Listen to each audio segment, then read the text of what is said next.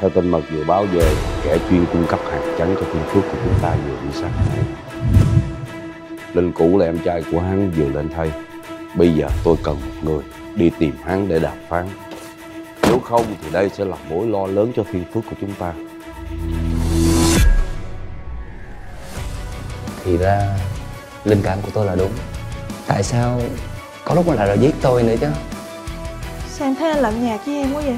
Anh không thể nào lông bông như cái thời bến tàu ngày xưa được nữa rồi Mà ngỏ nói cho Lý biết Lý á, mặt mày rất là hiền Đừng có làm văn hồ nữa Lo làm ăn đi Đây là trường lợi nhuận trong thời gian qua khi chúng ta hợp tác với khu người Hàn. Tôi người Hàn vô cùng khó chịu Mày thực sự làm tao ngạc nhiên đó Lấy nhu khắc cương. Từ nó cứng thì mình mềm. Cái quan trọng nhất chính là uy tín của chúng ta. Tụi nó căng thẳng quá thì mình phải vuốt ve dịu dàng. Quan trọng là cả hai bên phải biết bảo vệ nhau. Như vậy thì hợp tác mới lâu dài thôi Tao đã nói với mày, hàng này là hàng ngon